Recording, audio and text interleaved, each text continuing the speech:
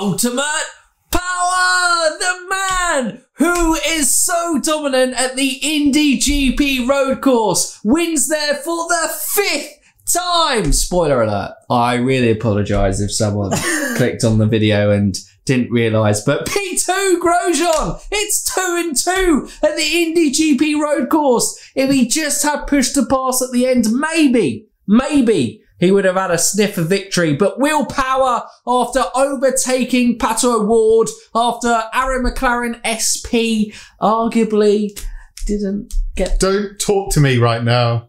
about the strategy. Um, Palou! No! Oh, no! You just Palou! reminded me! No, Palou! Oh, our engine gave in. This is the race reaction for the Big Machine GP at the Indianapolis Motor Speedway's road course. And, whoa, it was a race that had plenty of overtakes throughout, intriguing battles that were for the lead anyway. But then when a late caution came, when Alex Palou's engine blew up, it kind of, yeah, wow, I, I think led to some really close racing and crazy at the end. Yeah. But yeah, Stephen, initial feelings, thoughts from the race. Um, it was great. I loved it. It was constant action throughout. Um, apart from the, I think the last restart, everyone's tires were a bit, and everyone's like, breathe. the last six laps was, but everything before the last six laps was mental. Like you said, battles for the lead throughout. We had the drama with Hinch Hinchcliffe. He can't help it. He's just slow. Um, there's not. Di- I'm just. I'm just. Quoting, Quoting. Josef Newgarden. If you got hate, direct it towards Newgarden. But don't because Newgarden's a great guy. Uh, Um, yes. Uh, so we had that. Then we obviously had the late restart with then Grosjean charging down Will Power. Willpower making the move on Pato early doors after the first part. Oh, great race. Yeah, it was. It was a really great race. And I know people are sometimes skeptical of the IMS road course. Uh, because originally it was uh, kind of built for F1, I think, in its early doors, and then um, since the early 2010s, it's been adopted. I think 2013 was the first one, uh, maybe 2014, uh, as part of the IndyCar Series calendar, and obviously it has got a lot of run out thanks to COVID in the last. Yep. I think this is um, the fifth race here in less than Two a year. seasons. Yeah. Yeah. Yeah. Uh, crazy. Uh, Maybe year, one too few many. Yeah, but it, it was a great race. It was enjoyable. It had action. It had overtaken. It had battles for the leads.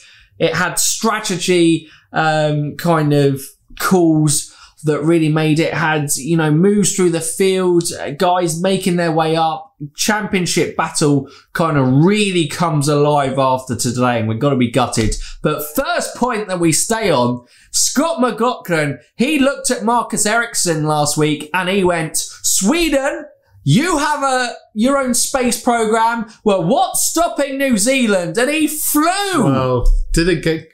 It got a little bit. Off he didn't ground. get as much airtime. A little bit off the ground. They need to invest in their engines. Maybe they reached like lower or they were doing lower altitude testing. Yes, yeah. That's I Ericsson was just fully sending it into outer But orbit. poor and Jimmie Johnson still had Oh, a great yeah. result today. But poor Jimmie was having a great, uh, you know, was just doing the start of the race, and then Scott McLaughlin comes, whee, flying in, touches his tire that he then has to slow off and gets overtaken by about three or four cars. Yeah, we should do a, a little note on Jimmie though. He finished, I believe, in the end P19 on the lead lap.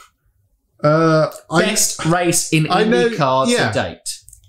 his performances haven't been spectacular, and you go, "Well, P19 isn't spectacular," but it is a, in a great result for Jimmie, with his first race being first time being in a first time doing a race for the second time, if that makes sense. Well, yeah, because obviously the Detroit doubleheader is a little bit different because it's literally the day Yeah, after. bang, bang. So it's not really much time to kind of go away. Where, you know, this was a real kind of benchmark of going, how will Jimmie improve through it? And the guy Yeah. is working his absolute butt off. And I think he got fair rewards um, this race, and you know he's just He going to keep making working. moves. He was Yeah. making moves. Uh, Absolutely, f- for a rookie, it shows clear progression in the right direction. absolutely. We're not we're not going. Well, his season's been incredible. This is a mega result looking at the other rookies, but it's a great result for Jimmie and his Yeah. progress. And Jimmie is just for those people who are, are hard on Jimmie. Jimmie is a genuine rookie to single seaters. He has never driven single seaters competitively in his career. He may be a seven time NASCAR champion, but that has absolutely no relation really to the IndyCar series other than the fact that Jimmie Johnson is an out and out racer. And he's doing this absolutely for the love of racing uh, the opportunity that he's got to do that. But wow, I mean, where Shall we go we? on to the next rookie? Uh, in uh, Christian Lundgaard. Yeah. This is a race of rookies, apart from the man that obviously we have the race of rookies and then the veteran of the road course at Indianapolis. Uh, but we'll come on to him. Christian Lundgaard. Uh, let me check exactly where he finished in the end. I think it was P30. well, while you check it, while you check it out. Um, obviously, we'll talk about quickly. Lundgaard's qualifying performance Yeah. yesterday was absolutely incredible. Now, I, I wasn't sure of the reason; it wasn't necessarily too clear on the broadcast, but I presume because the fact that we've got a triple header weekend with Xfinity there and the Cup Series. Obviously, the Xfinity races after the IndyCar, and the Cup Series is going to be tomorrow. Um, but yeah, I presume as it's a condensed weekend, they didn't have time to do the full qualifying stint. Hmm. Um, so we only had a fast 12, but Lundgaard didn't only just make it to that fast 12, he also started P4 in a superb performance, but I mean, P13 is still an incredible result It's for not loaded rookie. for me, but I believe it was P13. It, look, look it, that performance is still incredible considering, you know, it's his first, he's had one practice day at Barber. He's had a practice weekend here with the team, and this is his first ever race. It's a great result for Rahal Letterman Lanigan. And if he does want to come across to IndyCar, I know he was vocal in interviews over the weekend that F1 is still the dream. Um, but if he does want to come across, I think Bobby Rahal will seriously consider him. yeah, definitely. He certain, certainly wouldn't have hurt his hopes. Well, I think other teams would be looking at him and going, "Oh, maybe we could get him." Yeah, maybe a Dale Coyne because it looks like Romain Grosjean is going out. Mm. So there may be a, a position to slot with Alex Albon obviously being around the paddock this weekend talking Uh-huh. to Dale Coyne as well. But back to the race, we've just got on the screen. Obviously, it's just finished. Colton Herta is another man out there trying to to recover from last weekend's disappointment. Uh, started P5, was in and around the kind of top for a long part. Was a guy who kind of looked like he was chasing down Will Power. And again, Herta always seems to be this drive that, that never really benefits from the late cautions. yes. Uh, Yeah. But he's got another podium. Obviously, that will soften the blow, but still, you know, you want to be on that top s- Yeah. step, uh, especially after last week. But at least he's got a podium finish. Um, but again, Colton Herta continues to just be uh, it's such a great prospect in Mm. the series, and it's going to be exciting when the car and team all come together of where that great prospect turns into great championship contender. Yeah, yeah, definitely. Uh, I think it's time to address the uh, latest heartbreak in IndyCar. We've we've suffered a lot this year. Obviously, just to name a few: Will Power in Detroit, not restarting off the red flag. Josef Newgarden at Road America uh, having engine. I know it wasn't engine problems. It Uh, I think it was a transmission issue. I think it was through the gears. yeah, dropping back, and the latest victim, Alex Palou. Oh, Literally, they were going through talking about Alex Palou extending his lead to 50 points. Dixon has had an awful weekend, and we'll just briefly touch on that. Very rare from Dixon to have a poor weekend, but this was poor. He didn't look anywhere close in the top 10. In qualifying, he pushed it and pushed it too far. Was trying right on the cusp, and actually, if he'd qualified where he would have been just outside, he, he probably would have had a very good race today Yeah. and made good points on Palou. But instead, Too far back. he spun out in qualifying, started in the 20s, and never really got any sort of momentum. And late in the race, lost out to Lundgaard and then dropped several positions again and only really benefited when Bourdais and Ryan Hunter-Reay were taking themselves out at the end. Oh, I think it was just Bourdais pushing Hunter-Reay off, wasn't Yeah. it? I think more than anything else. Um, but yeah, Palou, he was literally going and saying, pretty much you could start to go, this is Palou's championship to lose, to now going, the championship fight is now blown wide open again. Uh, Newgarden finished seventh. Pato finished P5 in the end, wasn't it? Uh, Dixon was still, I think, just about in third place. 14, uh, yeah. Um, but he was In the you know, standards, yeah. He's Yeah. only about 30 points off. but he still gained points. Yeah. in terms of that. Newgarden gained points. Ericsson again gained points. Still is the guy who scored the most points in uh, the NTT IndyCar Series since the Indy 500. We repeat it because the commentary team repeat it all the time because it just rams it down that Marcus Ericsson actually is having a damn good season. Um, but yeah, all those guys that basically Newgarden would have been out of the championship. Ericsson would have been out of the championship today. Yeah. I would have said with four races to go, they've got too much, too much to do. It would have just been a three horse race. after today is there, and this wasn't a race going into the weekend. Uh, Stephen was like, I, "This is the first race I don't think I've predicted Pato to be on the podium," and we didn't think it through. And he pulled out a fantastic um, pole position lap and a strategy again. We'll talk about it, I think, once we round off Palou. But talking about championship, Palou's gone, gutted weekend, but now moves into, I think Pato is really strong on the ovals. And Mm. also Dixon, and I'm pretty sure Newgarden won one of the uh, Gateway double headers last year, uh, last year out as well. Pato came very close, um, but he looked really strong out there. I think Pato is going to win next week and take the championship lead from Palou. Bold.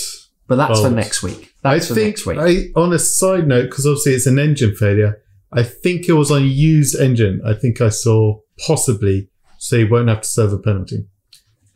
Maybe. Fingers crossed. Fingers crossed for poor Palou. Because 'cause that would- retiring is punishment enough. That would be doubly compounding. And we've got uh, this on in the background, the coverage, and Pato, he looks gutted.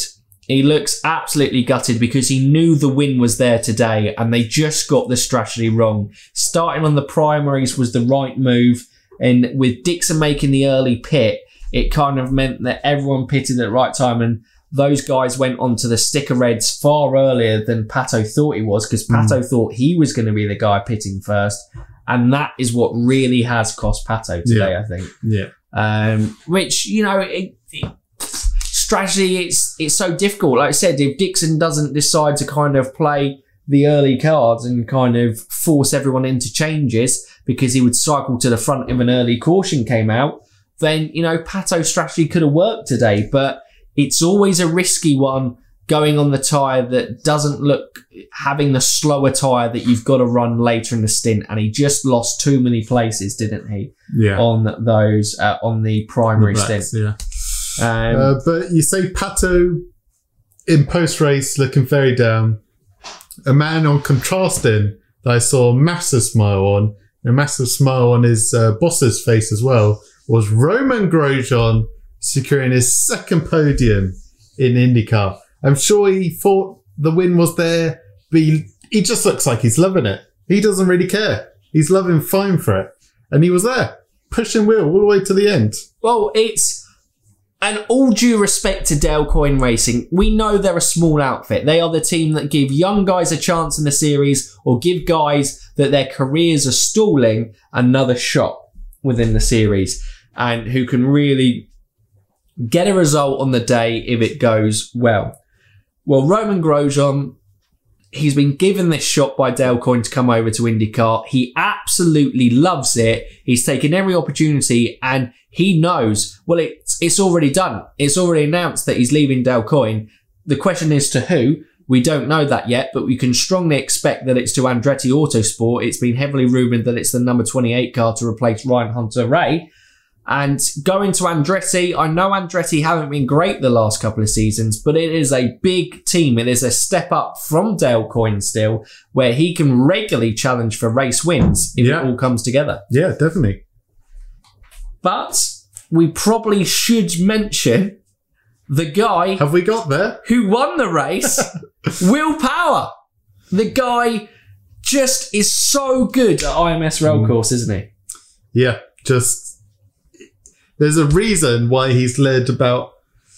He's got the all-time lap record, which is about 100, nearly probably nearly 200 above Scott Dixon, who's like in second place with the most laps led at the Indy Road Course.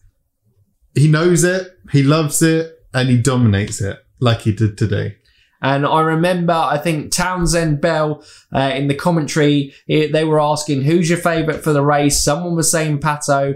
Uh, but then he was like, who's your favourite? Pato? And he's like, no, it's got to be Will Power. The stats are just there. This guy is too good at the IMS road course. And even despite the late cautions, the guy managed the race to a T. As soon as it was clear on it, he got ahead of Pato when Pato was on those primaries and he was on the sticker reds. He made the move early and then never really looked back from that point in on the race. He controlled it and it was a little bit like, obviously he started from pole in the Harvest GP uh, race one, I believe it was that he won here last year. Um, I think it was Newgarden one race too. It was either way, whatever it worked. Um, but you know, once he gets out in front here, he just is so confident. And the only thing that could hold him, Hinchcliffe, um, you know, at the back of the field, trying desperately to stay on the lead lap because, you know, cautions can change things. It can allow him to gain positions and get points. There are no blue flags in IndyCar. It was frustrating the hell out of Will, but he kept his cool. His team kept him cool in that situation. And the cautions, he was probably lucky that Grosjean overtook Herta, and Herta was the only one with push to pass at the end you could have because Grosjean had used all his up in the race, and Grosjean basically just didn't have anything uh, to be able to. He had a very quick car, and maybe with push to pass could have challenged for that win. But yeah, it will would have been very difficult to pass here because he is just so good. Yeah, so good. And so good. He deserves a win this season. Yeah, he does. Uh, obviously, he's got that contract for next year, so pressure a little bit off. Uh, but he, yeah, he's been desperate for a good performance. Couple of races have been very scrappy this year. Hmm. Uh, so a performance all coming together at last. Absolutely. And we said in the preview, you know, Stephen said he had a feel, good feeling about Will Power. He predicted him to win this race. And when we were talking about Will Power in the preview, we said if there's any place he wants to bounce back after a disappointing Nashville, you know, with all the kind of stuff happened there, he's frustrated. He doesn't want to take his teammates out. These guys respect each other. That Team Penske, you know, group are such a close group of drivers as well on and off the track. Um, too close at times on track, uh, as Nashville would show. Um, but you know, this was the perfect race for him to bounce back, and that is what it is. And you know what? I was expecting like an explosion of emotion from Will Power when he got out the car, but it just looked like a look of relief Yeah. on his face. He was like, "We got it. We got a win. I can still win in IndyCar, and it's so tough." And that again moves him up on the all-time list. He is one of the kind of I think I saw some stupid comments are like asking Will to retire. Like guys are a long time retire. Will is one of the legends of the series, whether you like it or not. He has been one of the best drivers there. I know his past personality can be a bit marmite for people, but these are racing drivers. Some people are hotheads and moaning in the cockpit. Some people are kind of cool and composed and just keep it chilled like Scott Dixon is uh, from there. But what you cannot deny is Will Power's talent, and that was bang one of Will Power's top performances. Yeah, for sure.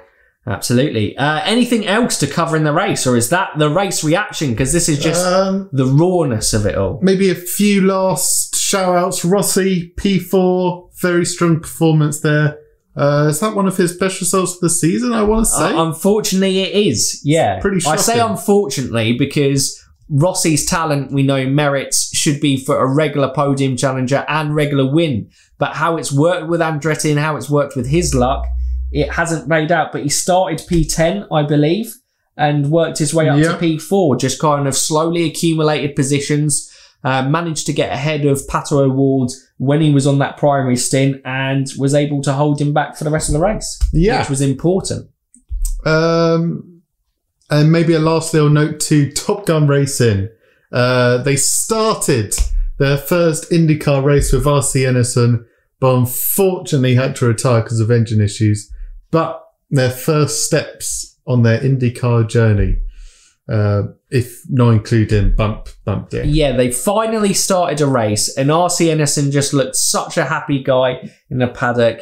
They were so pleased to be there, and I think you know new teams and new teams who come in and grow in IndyCar is fantastic. Obviously, uh, they're not a new team, but Juncos Racing are coming back um, next year in the series. Uh, we kind of discussed Top Gun Racing could be a team like Meyer Shank who kind of slowly build up a part-time calendar into a full-time calendar. But yeah, it, it was great to see them out on track in a race, and it will be great, hopefully, uh, fingers crossed for them, that they can build on this, learn from this. All these are kind of steep learning curves of the team, and we can see them back on a racetrack. Uh, probably not in 2021, but hopefully back in, well, definitely in 2022, we'll see them on the racetrack, but fingers crossed for more than Indy 500 and an IMS road course. Exactly. Who was Uh, your star performer? So my star performer was James Hinchcliffe. yes, it was. Yes, it was. But I feel like I can't really claim victory. It is a null and void Bourdais one. came 15th, but he did drive someone off the road at the end. Sebastian So was can't- a star I can't give it to him. uh, definitely once. And I think Katie in the comments, her star performer was Jack Harvey. We know Jack Harvey. really? Yeah, surprise, because it's her favourite driver. But Jack Harvey, P6, he had no push to pass at the end defending from Rahal, and he did a fantastic job. We know he's so strong here. There was pace in the car, but he definitely didn't have the pace to compete with those front runners. So I think a P6 is a very good result for Jack Harvey and for his last time at the IMS road course in pink Meyer Shank colours. Yes, so it's still 4 4 between us, but congratulations, Katie. You are now 4 4 1. Yeah. Wait, does that mean Katie gets pied? Yes. We've saved ourselves. We'll send a pie to Scotland in Katie's face. Um, but yes, okay. Rounding up thoughts of that race.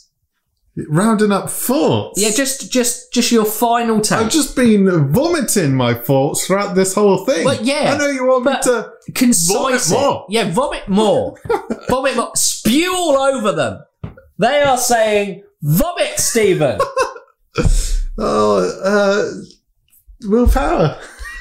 Willpower is a winner in the NTT IndyCar Series again. He finally gets his win this season.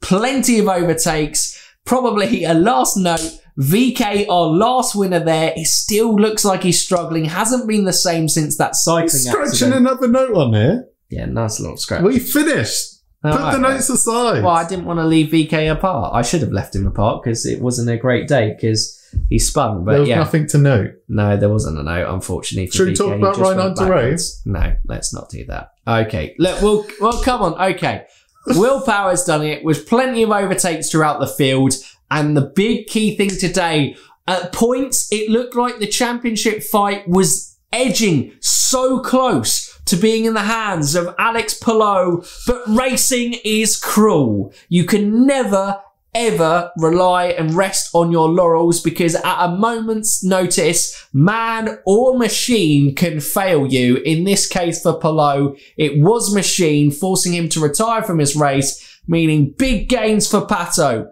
Gains for Dixon, not as big as what he would have hoped, but gains for Newgarden, gains for Ericsson.